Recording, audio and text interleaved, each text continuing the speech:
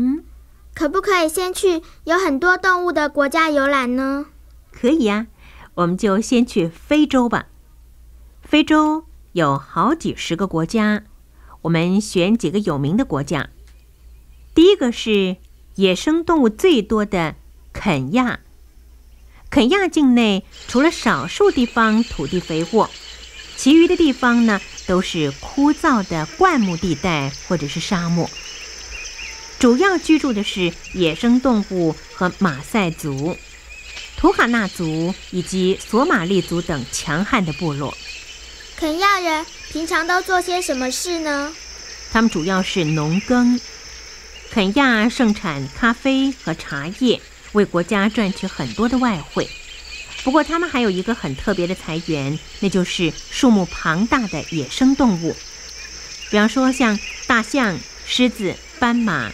长颈鹿等等，被饲养在十六个野生动物园内，其中位于首都的奈罗比动物园是世界上最大的野生动物园，每天都有从各地来的观光客到肯亚参观他们的野生动物园。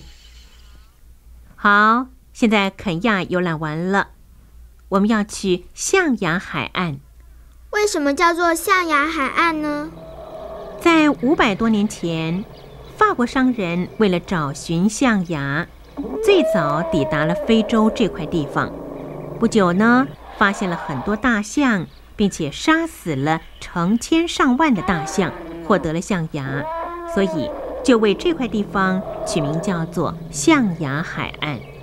象牙海岸的人平常都做些什么事呢？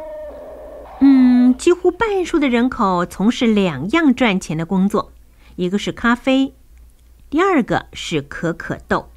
可可豆做什么用啊？可可豆是巧克力的原料。你看这张图片，他们在跳非洲舞。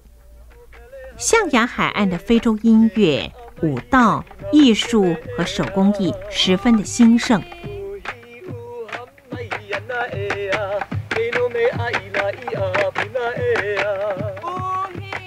非洲人都是皮肤黑的啊？不，非洲人不一定是黑人。像下面要游览的国家南非，就住了五百万个白人和一千九百万个黑人。虽然黑人比白人多，可是政府却是由白人控制的。白人实行种族隔离政策，他们把白人跟黑人隔开来。各有各的生活范围。黑人认为这样不公平，所以经常会有罢工和暴动的事情发生。